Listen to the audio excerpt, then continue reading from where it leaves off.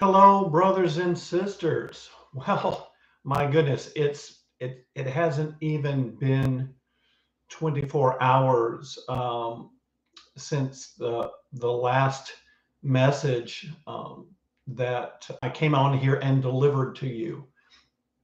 But I I I had no choice. I had to be able to come on and and tell you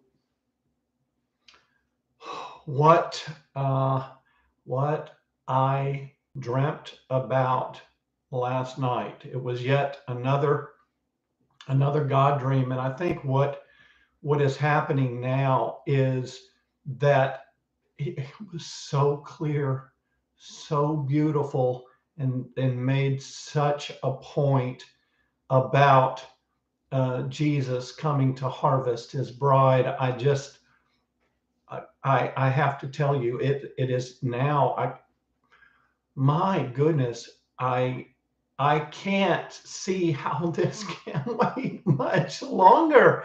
I am just beside myself. This is what happened again. Hello, everybody. Please come on in. This is not going to be a long message. This is just going to discuss, it's going to tack on to uh, the message from yesterday. Now, we're not going to go uh, deep into anything except to be able to uh, talk about what happened to me last night, what, what I dreamt about last night, the God dream. And it was so powerfully clear and strong. And so here is what happens. I want to let you know this, this with the the messages with the confirmations having now just they come so fast. They they come so strong now. I i it, it, it it's almost a, a overwhelming but a sense of overwhelming from the excitement stage. You know it it's not like it's too much. It's like yes yes yes. You know what i mean? It's it's that all right, so here's what happened. Uh, if uh, and I encourage you, if you haven't seen the the the very last message, the one right before this, talking about the imminent return of Jesus for His bride, please go take a look at that now. I don't think. I mean, I, I'm not trying to be hyperbolic or anything, but I am now to the point where I'm thinking that we may not finish things that that it is so close that uh, don't get wrapped up into thinking you are able to complete certain things certain things in life certain things in work certain things in uh, you know what you you you've got to do next week or uh, the next day or even the next hour. I, I'm saying that we need to be so focused on right now, this very moment, in this instant in time. We need to be so focused on that so that uh, that, that there's nothing taking our minds away. You, you know, a lot of people talk about how you need to live in the moment. Well, I'm saying that there's nothing that can be more relevant to that than this right now. Uh, again, if you haven't looked at my uh, last video, please go take a look at this because this is going to. Oh, Angel, yes, you had a rapture dream last night too. And this is what I'm saying. I'm not going to uh, try to get. There is just too much. It's it's like you know if if you've looked at Stellarium and you've seen the water bearer, uh, uh, and and you see the image of him pouring out the water and how the moon was in the path of that water. This is what I feel like it's it, it's pouring out. The pouring out the cleansing water. That's that's what this is. So last night I same thing happened. I awoke, but earlier this time. This was at uh, 1.30 in the morning, 1:30 on the button. And uh, and so I once again I I know that it's for a reason, and I am really starting to pray. But something was different about this time. What I was doing this way, I really felt the desire to pray in to this closeness with Abba, to pray into this closeness with Jesus, so close that I felt wrapped in them. Do, do you understand what I'm saying?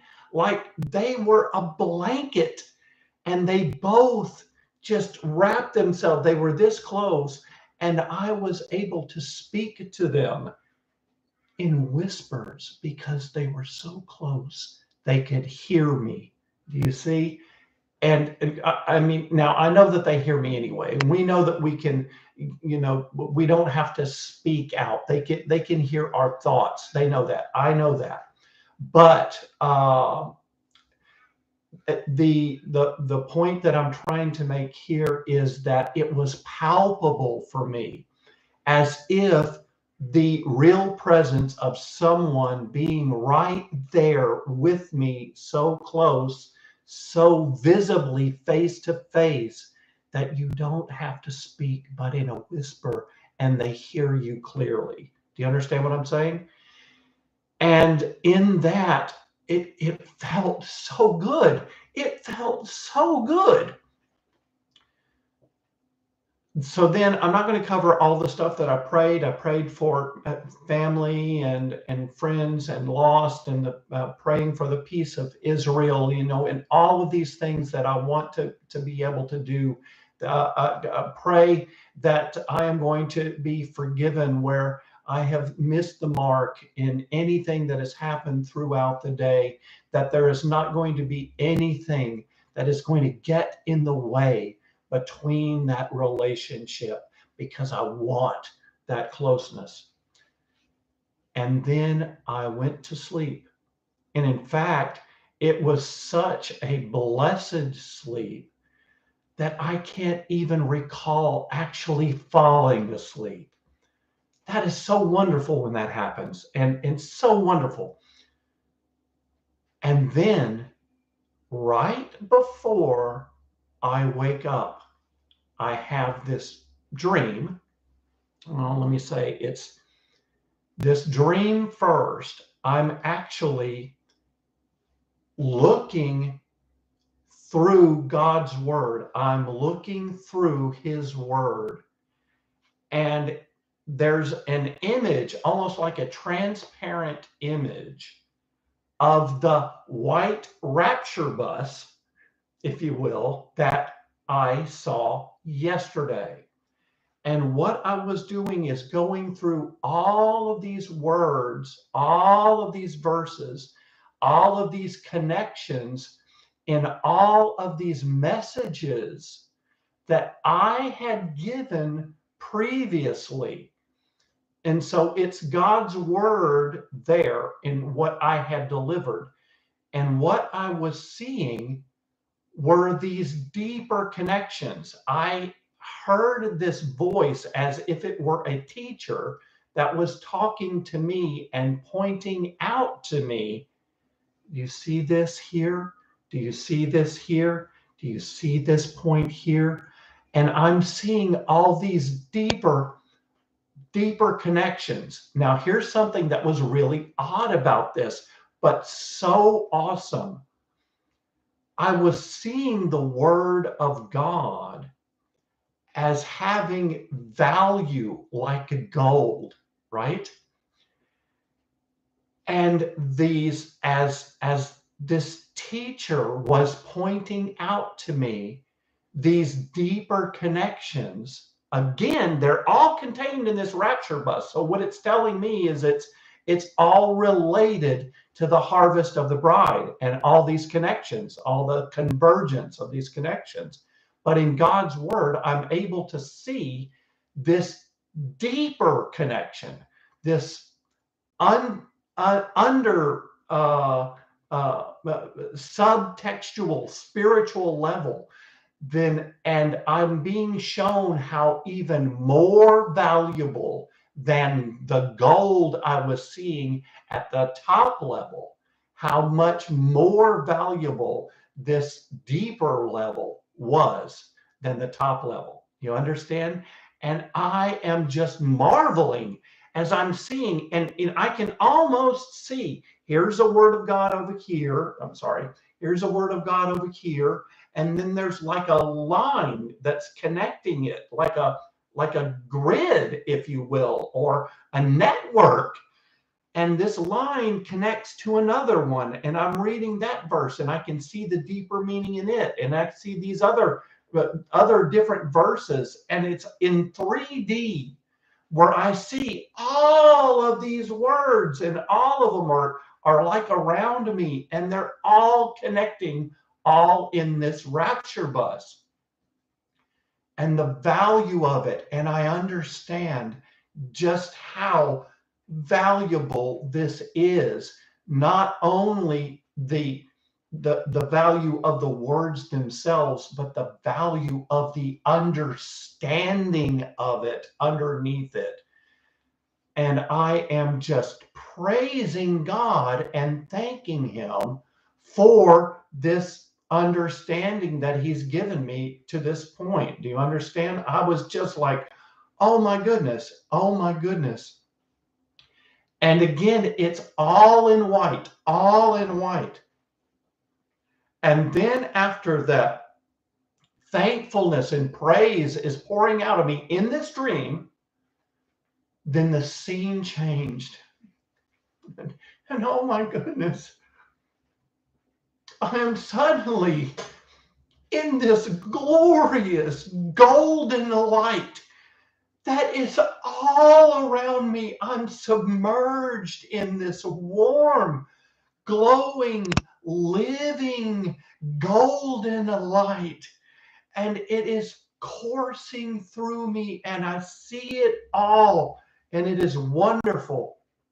And I'm it is so real and so palpable that I'm standing in it and I'm looking. So, this is what it is. The idea is for me to be focused on this one thing, one thing. And I want you to, to key on this focused on this one thing. And it was a container. And in this container was barley. It was barley that was all uh, it was winnowed barley and and it was in this big like a basket like a uh, I, I I have a hard time trying to to say it because the whole point was not to focus on the container, but it was this beautiful barley that was in this container. And as I'm watching in this golden light, then Jesus' hands, I see them come out from beside me. And again, I'm focused on the barley. And these hands come down and gently scoop up the barley and I can see white robes and and I can see the cuffs of his robes and there's this beautiful embroidered golden patterns that are in these robes and I know it's Jesus. I know it's Jesus and he is gently scooping up this barley and taking it away. And I know that's the harvest. And I woke up. My heart is still pounding, brothers and sisters. My heart is still pounding. It is so powerful what this vision was.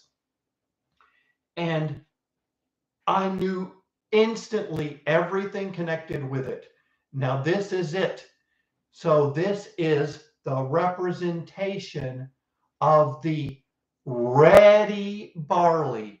The barley bride is ready for the harvest.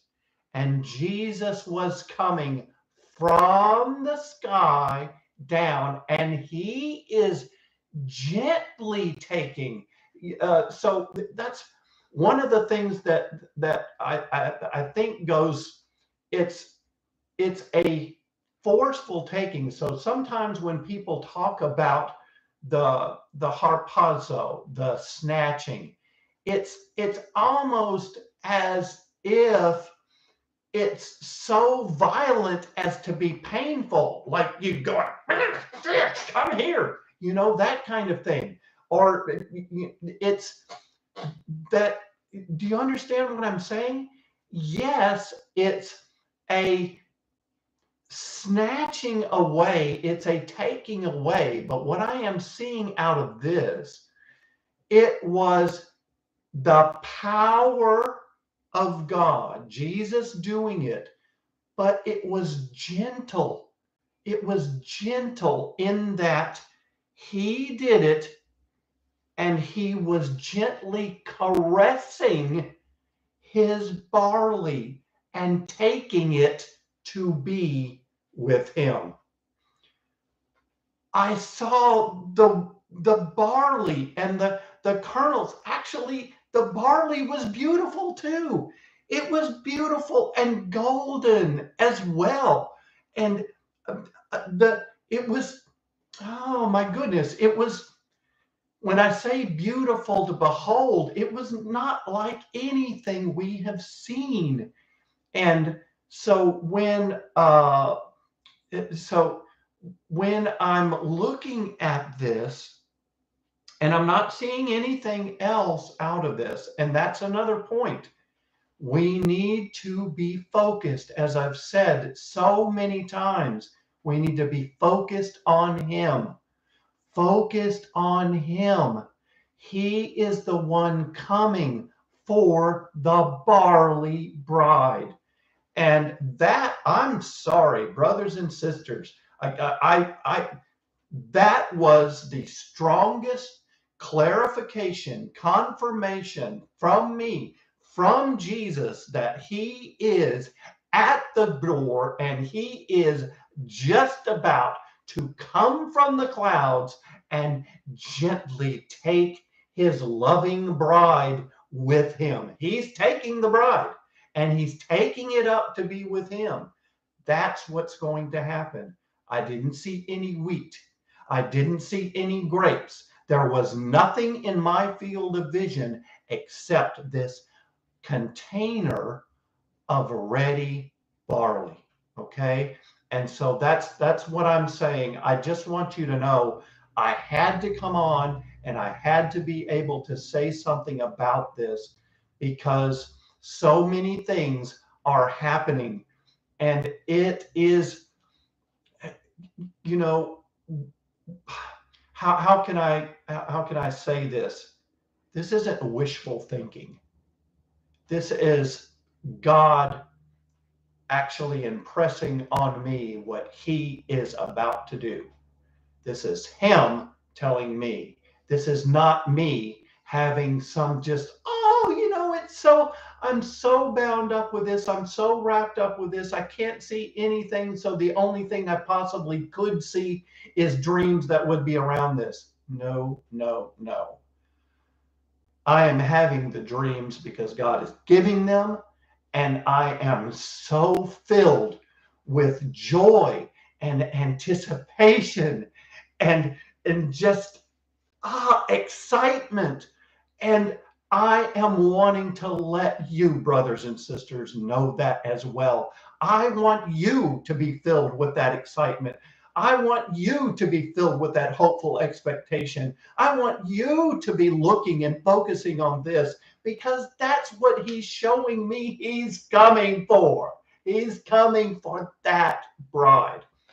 And, and, you know, uh, you do not have to believe it. You do not have to receive it, but I pray that you do. Open your heart. Do not harden your heart. Jesus is coming for his bride. And it's right now. I'm I was thinking, my goodness, if I don't tell our beautiful family about what you are saying, I'm going to explode. I'm going to explode from it. The the excitement in me is so strong. And I it and I can't keep it from you. I'm because of the things that Jesus has given me to give to the family, to encourage and to build up and to edify. This is it. Jesus is coming for his bride. And we, I, I, I'm just thinking if I don't say something now, it can very well happen before I do. And I would have missed that opportunity. And I don't want to do that. I want to be obedient and I want to be giving the message that Jesus wants you to have. He's coming, brothers and sisters. He's coming. And it is so close now. I just, I, it's so close now. It's so close now. I can't, I don't want to sleep. You know what I mean? I don't want to sleep. I, I want to be focused on Him. And I encourage you to do the same. If you have anything I, I, I, to say, or if if there's anything else that, if there's something that the uh, that Holy Spirit prompts any of you with, or or or, or something that that you want to uh, to tell everybody, please uh, like and and share uh, uh, the the video. I, I I'm asking for you to leave your comments. Tell me what the Lord is showing you as well. I've seen a number of comments that that are scrolling up talking about what Jesus, our our glorious bridegroom, is showing them and the rapture dreams and and visions that are coming through. Let's share them all now. Let's try to put them in together in what we can see right now. Let's do this and let's have this as a word for those who will be able to see it and learn from it, be and be edified from it before that event, which is so quickly about to happen. The Spirit and the bride say, Come. Even so, Come quickly, Lord Jesus. Maranatha, brothers and sisters. We'll see you in the clouds. Amen and amen.